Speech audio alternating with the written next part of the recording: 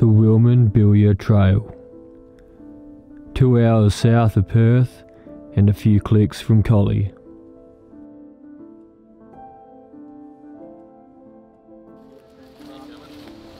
I had a few mates with me this time. Hato, Madge, and Shorty. We'd got there at sunrise, and we were in for a decent one. It was 17 kilometres to where we would camp the night, and the weather forecast had us copping a drenching. 10 to 25 mils was the prediction, and I reckon it wasn't far off.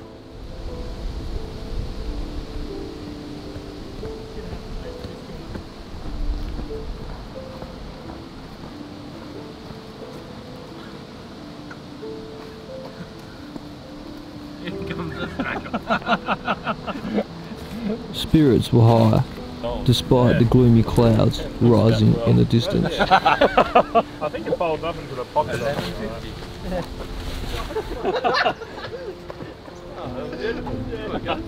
yeah, no, it was um, like one of the funniest moments. Eh? Heads down.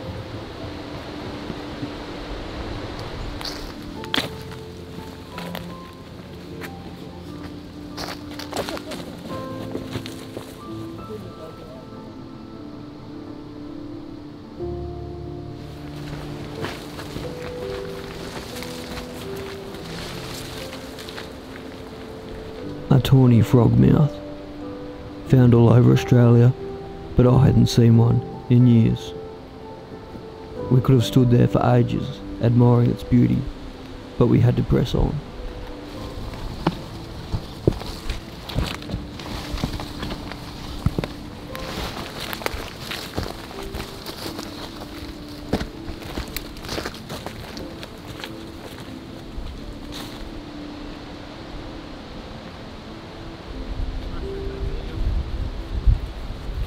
If there's one thing you should know about Shorty, it's that he has a tendency to lay a cable at the most inconvenient times. We pulled up stumps for five minutes and had a feed, while nature played its course in the bush. How much jerky have you got? Fucking Laura packed me out. Most of the weight is actually in food, eh? I'm not sure what type it is. It's either chili or it's garlic. Yeah, it's the jerky coaster.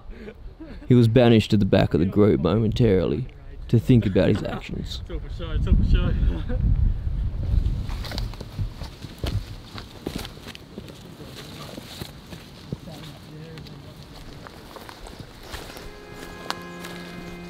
It was at this point we still had about six or seven k's to go, and the rain was slowly getting heavier.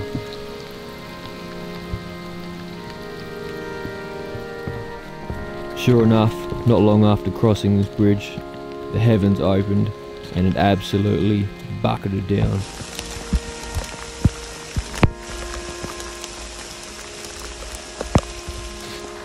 After what felt like an eternity, we arrived into camp. Soaked, head to toe, we couldn't wait to throw on a fresh set of clothes and chow down on some hot food.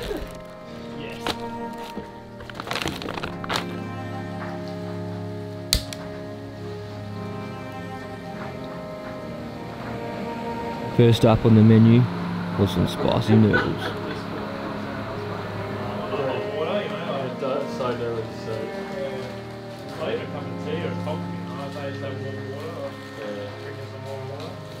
With darkness approaching in the next hour or so, it was time to set up camp. The guys chose to crash on the benches provided, but I'd bought some new gear and was keen to test it out. Hindsight's a funny thing though, as midway through setting up, my water bladder decided to have a blowout. Oh no. No.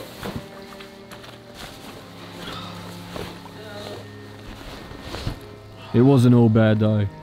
Hato was kind enough to lend me his towel to mop the mess up, and the weather had cleared long enough for me to get a few drone shots in.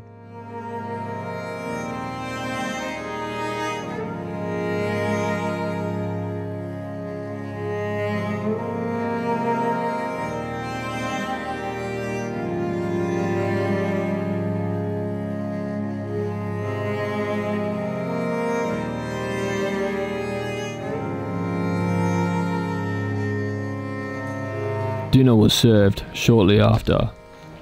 On the menu tonight, some delicious deb and not so tasty beef and pasta hot pot. But hey, lesson learned there.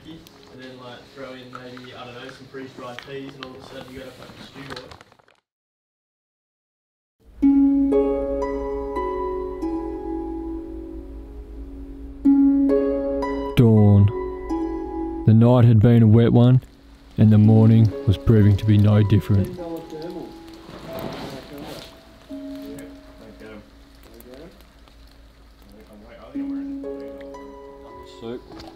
Priority number one was to cook up some hot brekkie before packing up and making a long walk back to the car.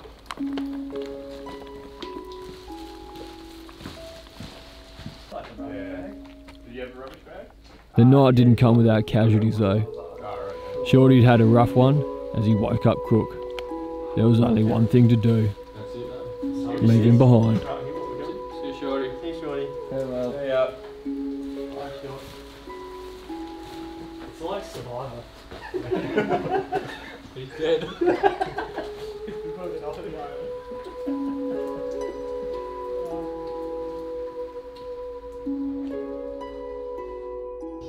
And that was the Wiilman Bilya Trail near Collie in Western Australia. Officially, it's about 20 kilometres long. We decided to park up at the sort of kiosk kind of area at uh, Wellington Dam and hike from there to Nynyan campsite, which was about 17 kilometres. I probably butchered that pronunciation, but uh, we'll roll with that for the meantime. It took us roughly 15 and a quarter hours uh, to hike there, and then in the morning it took us three hours, 10 or 11 minutes, I think it was, to hike back.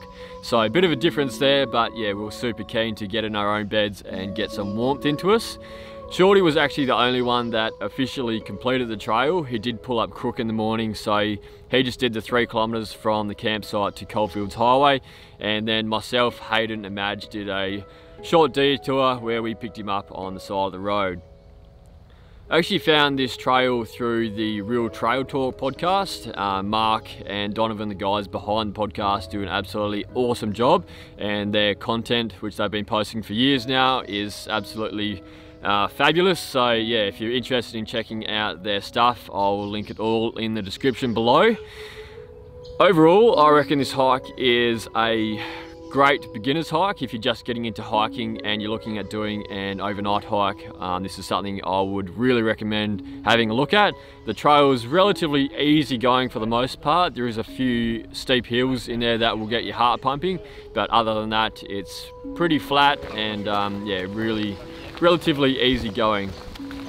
I think in a couple years time or a few years time, um, it has a huge potential to be even better. Um, I actually believe it's meant to be a three or four day multi hike. It's meant to go all the way around Wellington Dam, if I'm not mistaken. So if yeah, if they can knock that off, I think it would be absolutely awesome and another great attraction um, in Western Australia that people can get outdoors and go and see some of the natural beauty that we have, even though it's technically a dam.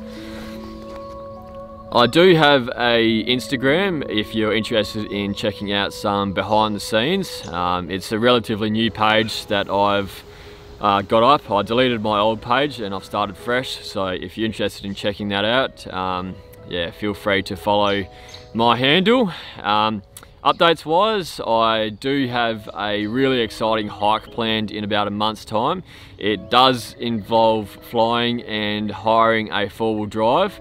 Um, but I don't want to disclose too much information at this stage because um, yeah the ducks and stars really need to align um, before I can uh, yeah tick that one off but I'm really really excited to do that one other than that I will see you in the next one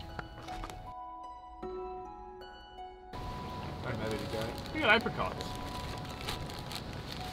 Yeah, hang on. These make me fart real bad, eh?